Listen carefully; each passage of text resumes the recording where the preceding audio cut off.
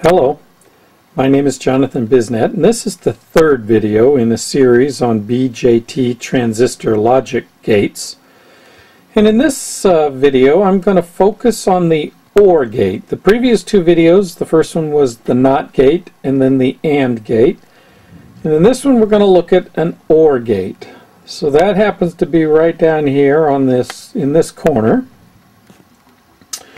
And uh, what you'll see is it's another three transistor gate.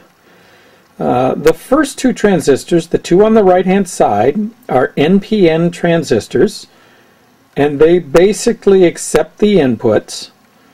Uh, the outputs are then combined and actually run through a third transistor, in this case a PNP transistor, which I refer to as an interface transistor or a staging resist, uh, transistor or staging transistor. Uh, and its purpose is to simply flip the logic back so that it's positive logic coming out of the circuit, whereas the NPN transistors would create a ground situation as a 1, which is not what I'm after. So if we start and look at the the two transistors here on the left, they are uh, uh, 2N2222 uh, transistors, NPN uh, each of them. You'll notice that both of them have their emitter, the pin on the left of each transistor, connected to ground.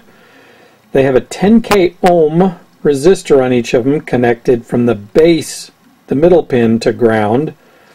And then uh, finally, uh, or additionally, they have uh, an output uh, on their collector, which you'll notice the, the first black wire, one collector is connected to the other collector and then the second collector is connected over to an input transistor input resistor for the third transistor and I'll explain that in a minute. So basically each of these transistors is operating as an individual part of this circuit.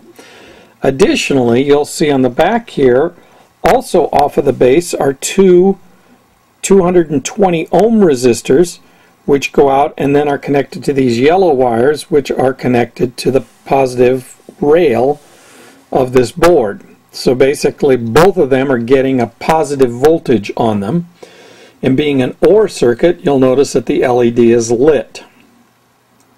So both of these transistors are being turned on uh, with the positive voltage and therefore the result is being sent to uh, the third transi transistor in the stage. In this case, it's a ground condition, which is going through a 220 ohm resistor there and into the base of this PNP transistor, in this case a 2N3906. You'll notice its emitter is connected to the positive rail, being a PNP transistor, that would be normal.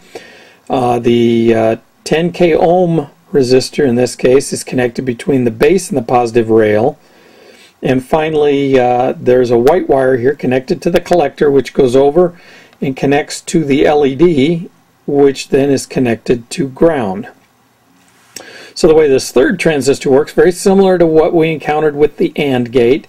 It inverts the signal, so to speak. It takes the negative or ground output of these two transistors and converts it to a positive output to represent a 1.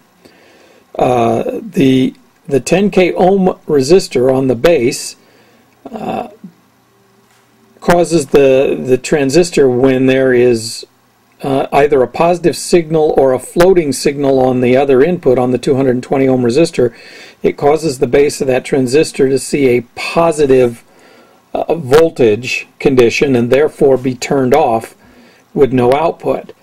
Once the ground condition from these two transistors, either of them, is applied to the 220 ohm resistor to the base, that no longer sees positive voltage but rather sees a ground condition in which case it begins to conduct and turn on the LED.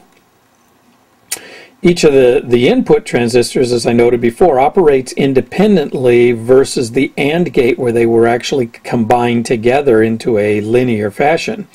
Each of these operates individually, and if either of them goes to a ground condition, basically turns on and and uh, sets ground potential to the third input transistor, the LED will come on. So if we take a look at this, uh, if I go over here, let's see, best way to do this, switch hands here. If I go over here and take one of these as an example and pull it out, go to ground with it, notice the lights, the LED stays on. If I pull the second one out, we lose the LED. Uh, go back to the first one, let's plug in just that one. You'll notice that the LED comes back on. If we plug in just the other one, the LED comes on. Uh, and if we plug them both in, of course, the LED stays on. So we've got an OR condition here. Uh, if either if either or both provides a 1 as an input or a positive voltage, the output will be on. So let's go take a look at the schematic for this. And what you'll see is this schematic is actually very sim similar to the schematic we had in the AND gate situation. The difference is in the emitter portion of the circuit, really. Everything else is almost identical. It's just that both emitters are connected individually to ground instead of the collector of Q3 being connected to the emitter of Q2. So you'll see that they are individually operated. They both have a ground based emitter and their outputs are both provided or connected to the base input of Q1 through the 220 ohm resistor.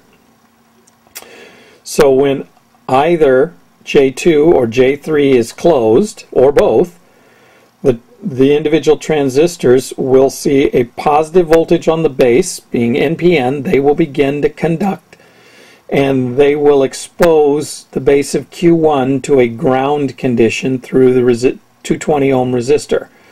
That ground condition will then basically turn that transistor on. Q1 will go on and provide positive 5 volts to the anode of the LED and then uh, that'll travel through the 220 ohm resistor back to ground turning on the circuit. So very very similar. Uh, again the 10k ohm resistors that you see throughout are used to in essence bias the transistor off uh, when the input is floating or in the uh, in a state that would not normally turn the transistor on, that that 10k ohm resistor allows the base to see whatever condition or potential would cause that transistor to be off. So those are used to put the transistor in an off mode. And that's really all I have to say about the circuit. You'll see the uh, truth table at the bottom and you'll note it's basically the truth table for an OR gate. Well, it is the truth table for an OR gate. It's on if either input is on or both inputs are on. Uh, so that's our OR gate. Uh, I hope you'll uh, watch the other videos and see the other gates I've built and see how they work together. Thank you much.